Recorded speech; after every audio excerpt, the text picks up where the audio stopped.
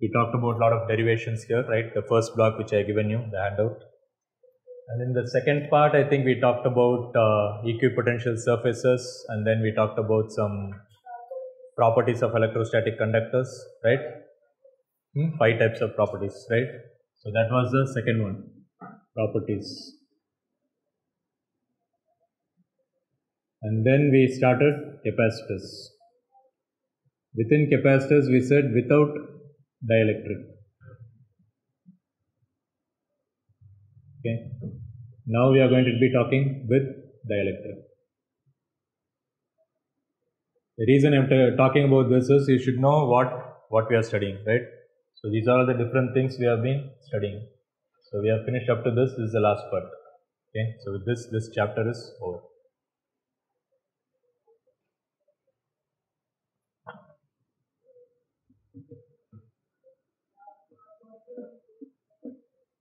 So I just have to say dielectrics are nothing but or insulators.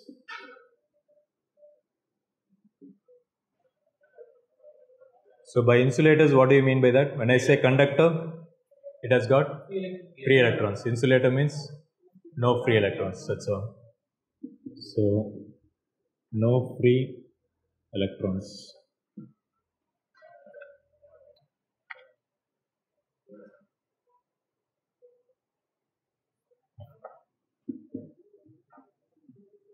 But forms good electric field called polarization. So we'll talk about this, what this means.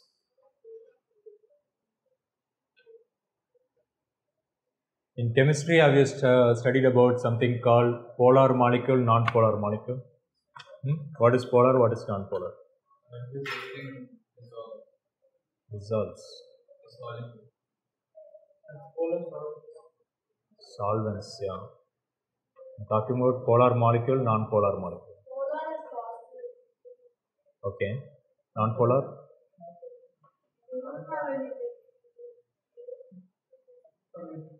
Okay. So non-polar example would be hydrogen molecule. So if I say one proton here, and let's say there is one electron here, right?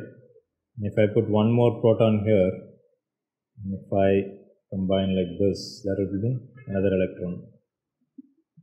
Remember something like this? Hmm?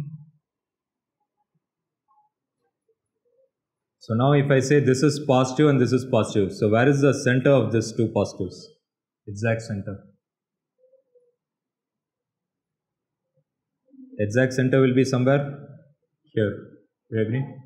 And what about the minuses? Where is the exact minus center? It's in the same line. Do you agree?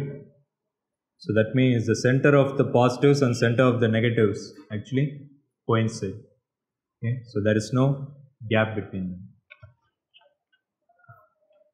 So a polar molecule example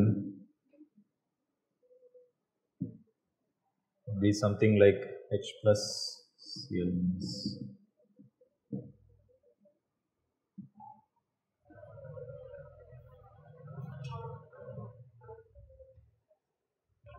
So here another example would be you take a CO2. So you have carbon, you have oxygen.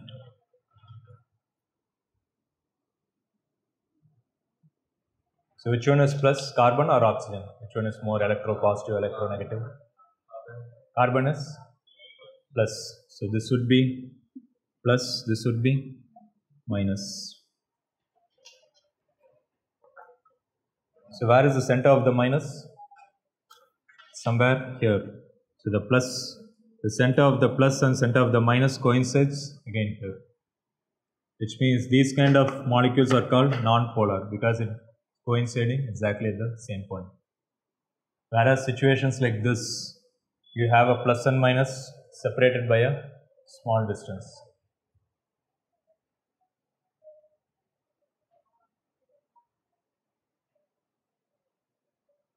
So if I had 1 plus here, how many minus will be there here?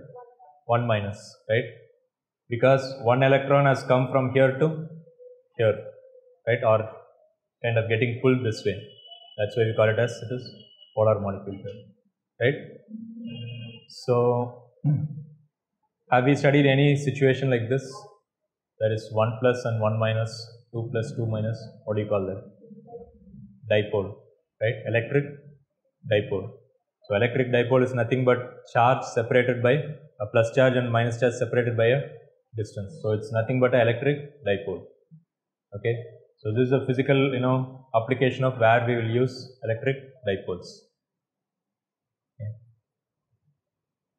So, take it down. So, here the center of plus and minus will coincide at the same point.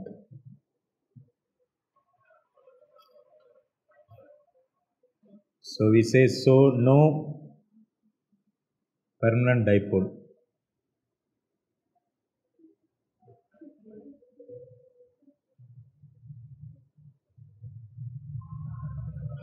Here it's the opposite. The center of plus and minus does not coincide and separated by a distance. So that is a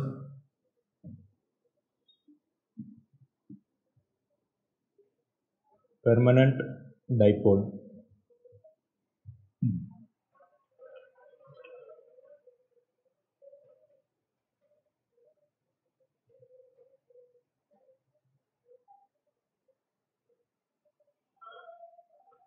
And if I want to show the dipole moment, which way should I show? Plus to minus or minus to plus? Hmm? Minus to plus, right? Dipole is this way. So we say dipole moment is minus to plus.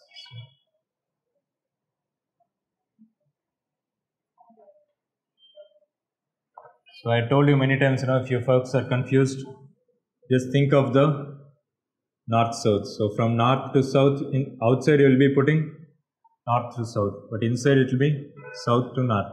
So it's something very similar to that. Okay. So dipole is minus to plus. Some more examples here would be I can say hydrogen H2 molecule N2 O2 CO2 CH4 CCl4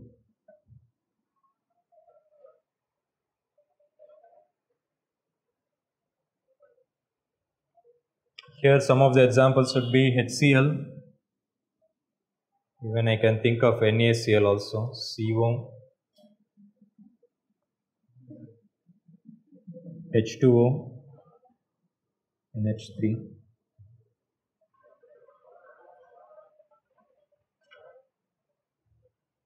let's think about H2O. So you, have a oxygen atom here, and then the hydrogen atom is something like this. You studied this? Hmm? So which one is plus, which one is minus? O is O is plus, O is minus. So I think you must have studied this is 2 minus, this will be plus and plus. Right? So if I take the center of this, where will it fall? It will fall somewhere here.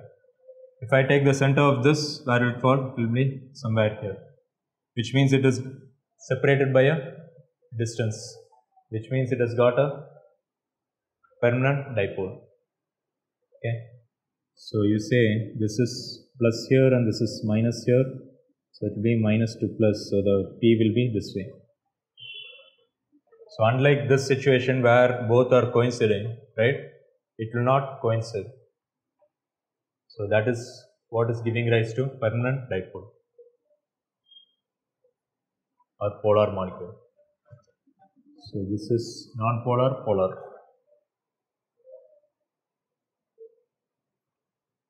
Can you say any difference between this 4 and this 2?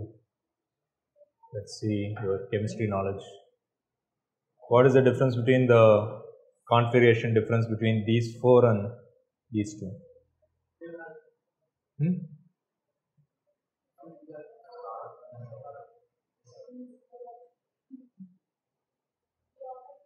Geometry, yeah, very good. So, what is that? Okay, this is tetrahedral, right? So, these are all linear, these are all tetrahedral, three dimensional, right? So, make a note this is linear, this is tetrahedral, but still, you know, all the pluses. So, I think you must have studied something like this, right? Three dimensional. So, if I take all the minuses, it will be coinciding at this point. Okay.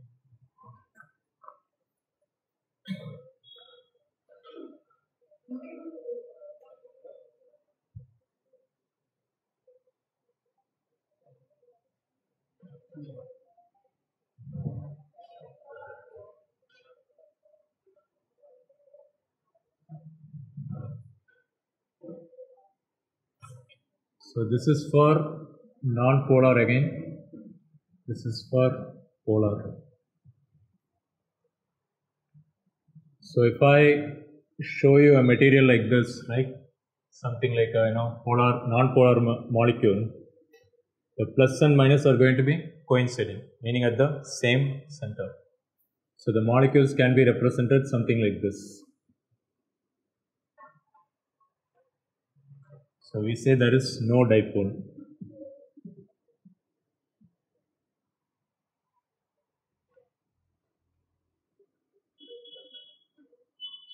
If I take molecules of this one, polar molecule, this is going to be, the molecules will be randomly arranged or it will, it will be having a proper arrangement, like perfectly, you know, randomly arranged, right?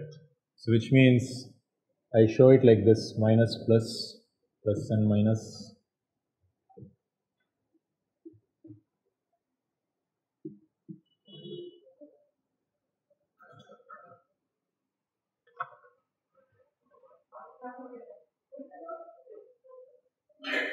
So take it as dipoles are present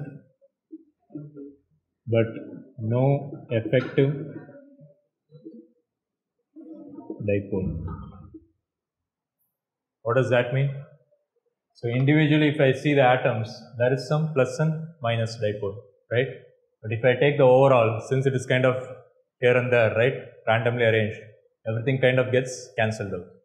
What I mean by that is, if I had something like this, plus minus, plus minus, plus minus, plus minus, so I can say all these things are going to add up. Dipoles are going to add up. Whereas in this case, they cancel each other, right? So if I say this is a P here, P here, P here, so all these things are vector addition of the dipole moments. Whereas in this case, everything is kind of, you know, here and there. So everything is going to cancel each other. Okay.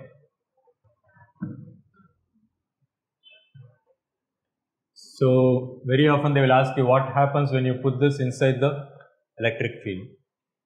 So you know what is electric field? So electric field is you have plus plate and minus plate. You put this inside this right? So if I had a plus and minus here, right? What do you think will happen? This is a strong electric field, so strong positive on this side, strong minus on this side. What do you think will happen? Hmm? Cancel? No, no,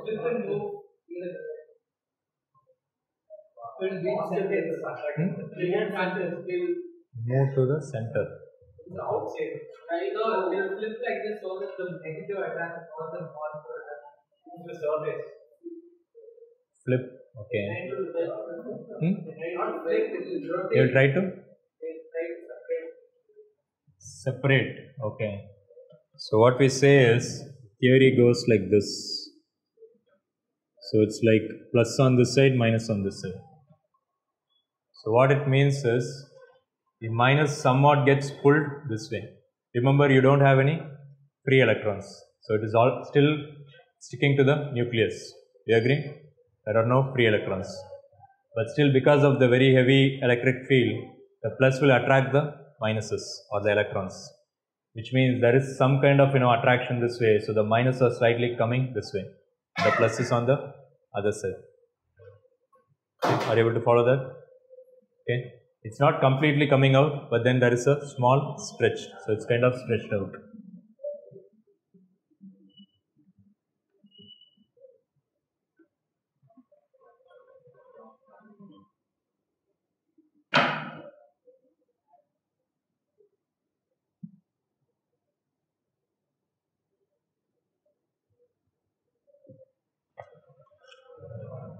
Which means each molecule we will have to show it like this.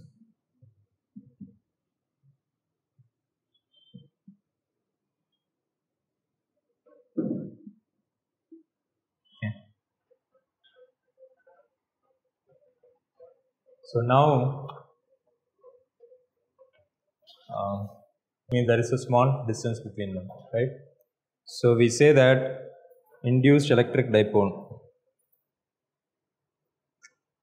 So this is what is called induced electric dipole. What does that mean? Here we said no permanent dipole. Right? Here we say there is an induced electric dipole because induced means what? Induced means something like influenced because of the external electric field. So because of the external electric field you are influencing a or inducing a electric dipole.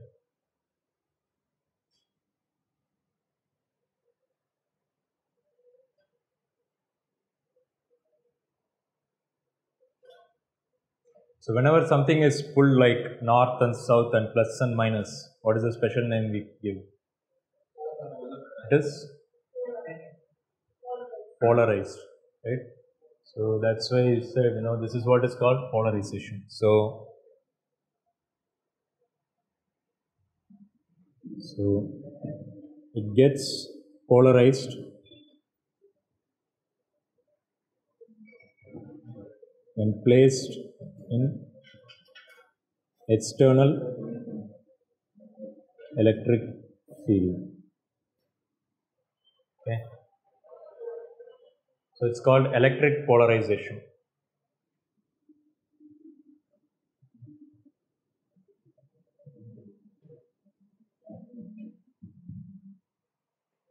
So later on we are going to be talking about some polarization in optics.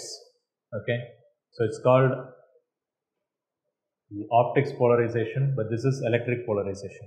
So very often students will get confused between this and that. The question when it is asked in the exam, you don't know what they are asking. So you have to you know deter- depending upon the question, you have to find out what they are talking about. What? Any doubts? So this is called electric polarization. Okay. What do you think will happen if I put this inside the electric field? The same plus and minus.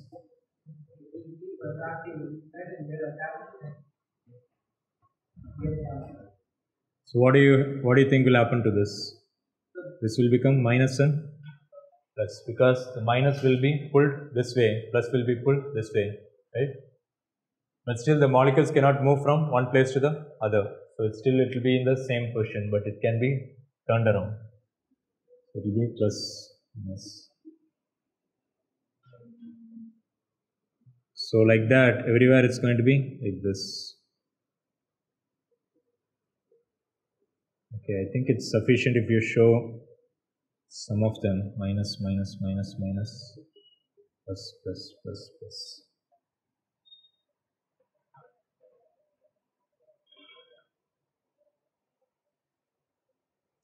So we say dipoles are aligned. Dipoles are aligned in the electric field direction.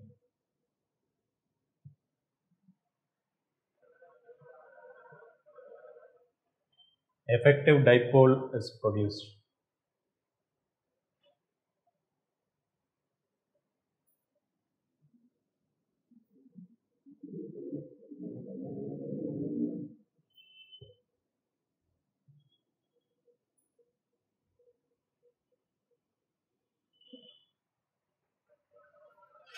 So this one is for this side, right?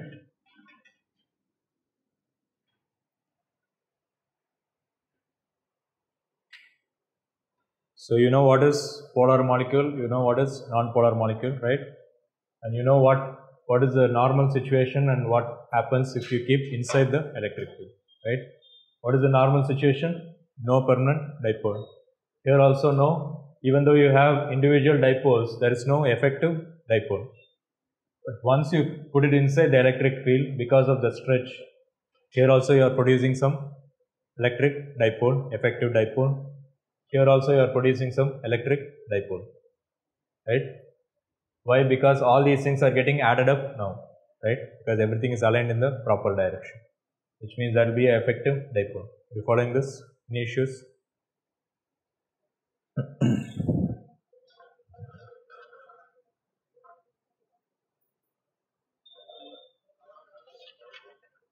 So now look at this situation and tell me you have a plus and minus plate and you have some insulator in between, right? Electric dipole.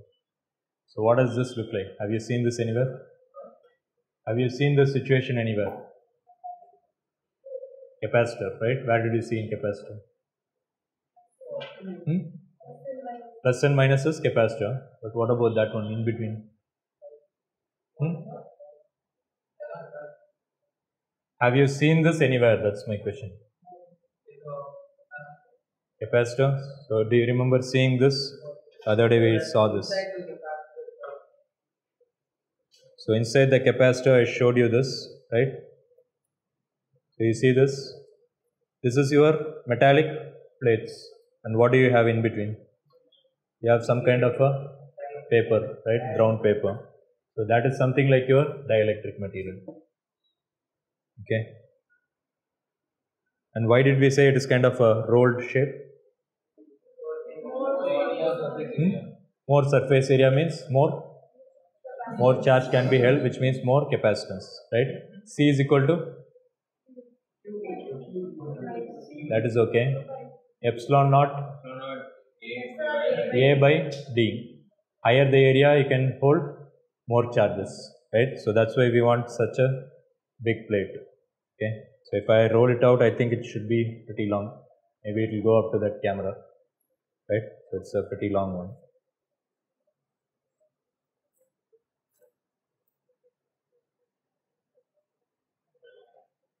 Okay, so as I said, so far whatever we studied earlier was without dielectric. Now we are going to be talking about what happens when you put a dielectric.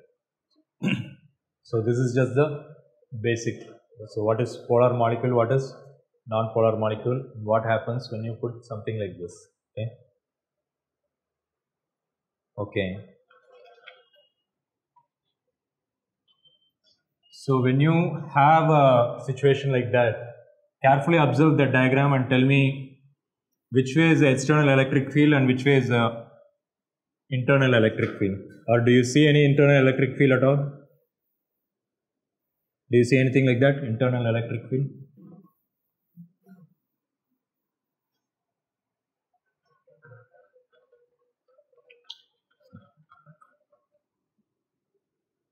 So I'm going to redraw that diagram.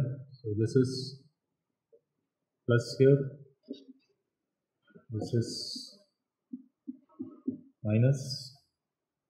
So when I keep a dielectric material in between, we said I am going to have something like minus, plus, minus, plus, minus, plus. Here in this end it's going to be plus here, minus here.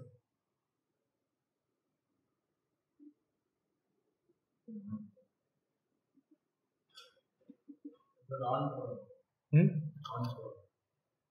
No, we're talking about the polar.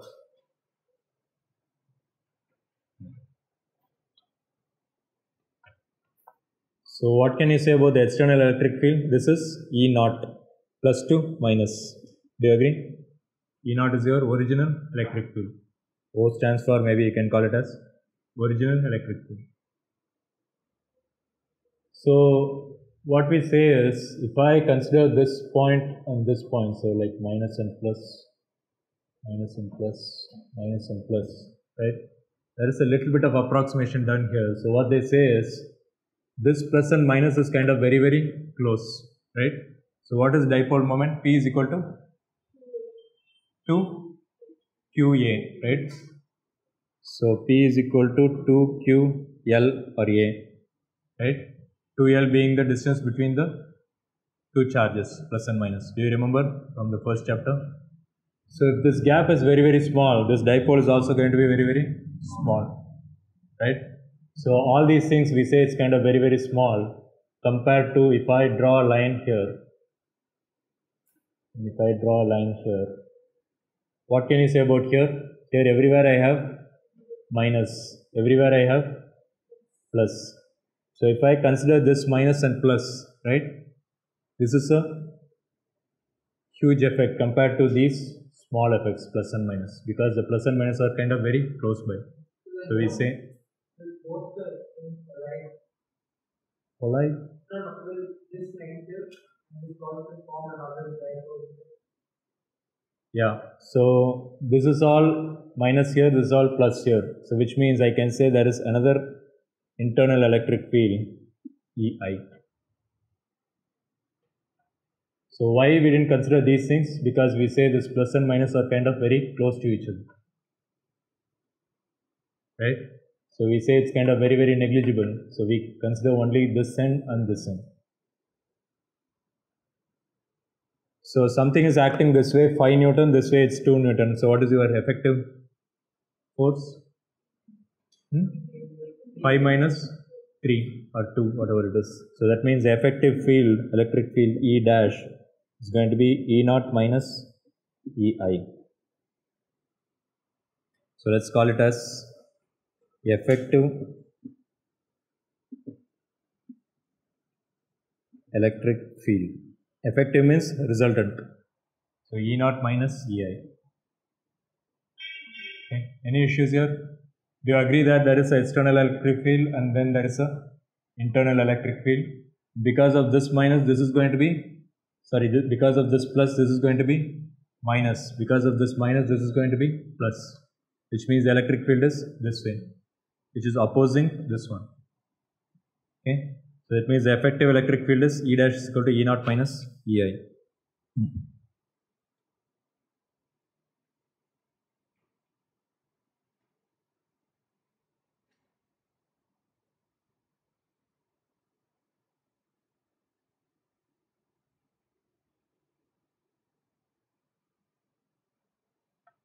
So I think call it as can call it as E or E dash.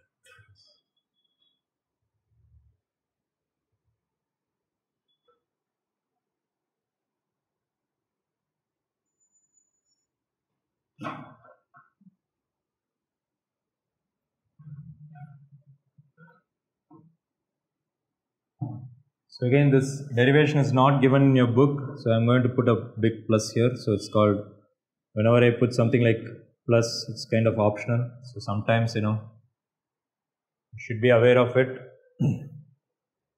so if they ask you, I don't know.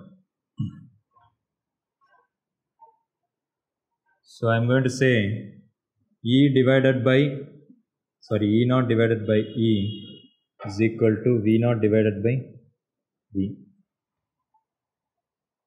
because electric field and voltage are proportional, right? The same gap D. So,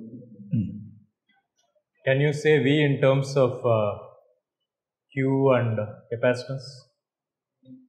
Q is equal to CV. So, V is equal to Q by C. So, I can say Q by C naught. This is Q by C. What is the difference between C and C naught? What did we say about naught and this one? E naught means E naught means without any dielectric slab, original, right? So that means this C naught is without any dielectric. So this is with the dielectric. Okay, so make a note. C naught is without dielectric. So C naught is the capacitance without dielectric. C is capacitance with dielectric.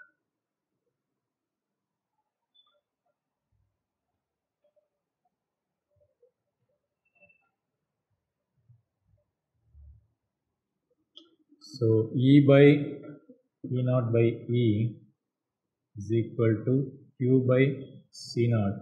Q by C. Q Q cancels, same charge. So this goes on the top. So C by C naught.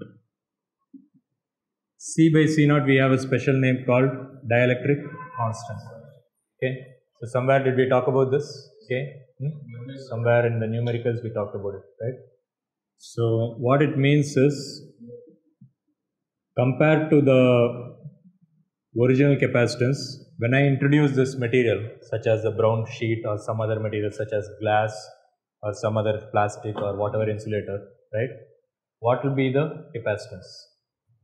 So that capacitance divided by the original capacitance that is called dielectric constant.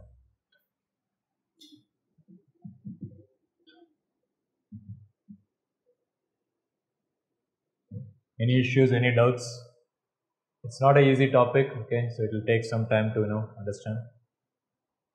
But many times, as I say, you know, the first time it may not make sense. But as you keep on studying again and again, it will make more sense. So it is defined as dielectric constant C by C naught. So somebody said, let's call this as C by C naught is equal to K, dielectric constant.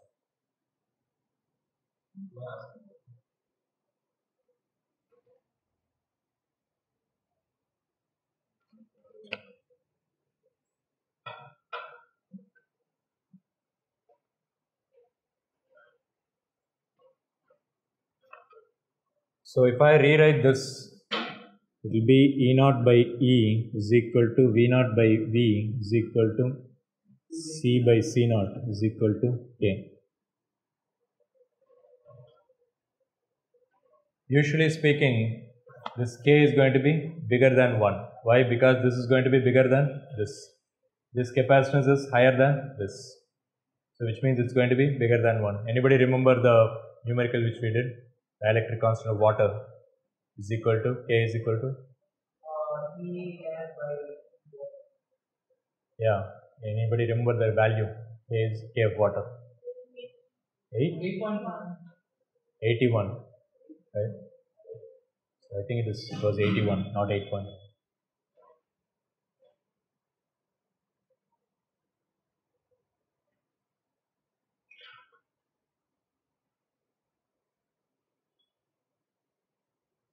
So now tell me, looking at this, this is my final electric field, this is my original electric field. This is something like 81, bigger than 1. So compared to E naught, E will be bigger or smaller? Looking at this, E will be bigger. Naught will be bigger, E will be smaller. Same thing with V naught and V. So V will be smaller.